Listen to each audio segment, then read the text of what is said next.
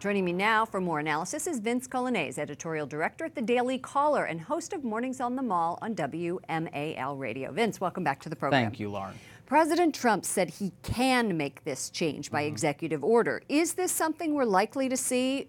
Or likely to see without legal challenges? Well, he says that it will happen and it will happen by executive order, which means that we're probably headed for a test in the courts and ultimately potentially in the Supreme Court. What's different about this case is that the illegal immigration and the idea that an illegal immigrant's child could become a citizen of the United States by birthright, that question's never been tested in the Supreme Court. The question of legal immigrants having children in the U.S. becoming citizens. That was tested in 1898. So he could be the president that introduces this topic to the court and forces them to come up with a decision on it. Vice President Pence responded to critics of the proposal today, dismissing the notion that this is another attempt uh, to rally Republican support ahead of next week's midterms. What do you make of the timing? Well, it's clear, thanks to what we have data from the Border Patrol, that last month was a record for the number of families who are actually illegally crossing the border. So there's a lot of focus paid on the caravan and the size of it, but the truth is thousands of people are crossing into our country illegally every month with or without caravans of any specific size. So illegal immigration, clearly an issue. The idea here, though, for, for the vice president and for the president of the United States is that tackling this issue now look, voters deserve a chance to ratify whether or not they want this administration to continue its policy at pace.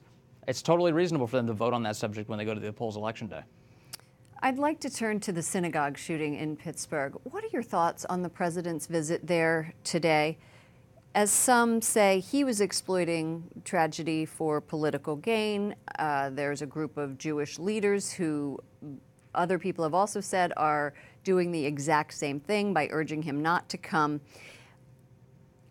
Is our country so politically divided that anything the president does is, is going to be bad? Well, unquestionably. I mean, in, in the sense that President Trump has a unique ability to provoke hysteria in his critics, no matter what tenor he takes. In this particular case, and we saw it last week as well with these package bombs being sent around the country, the president chose a, to rise to the occasion and to have a tone of unity, condemning these attacks and saying we need to be unified as Americans his critics should temper their criticism in the face of him doing the very thing that they call him to do, which is to be a unifier. And here he is attempting to do it, and they're attacking him for it anyway. They should be careful, careful not to be divisive in the wake of all of this when the obvious call is to unify.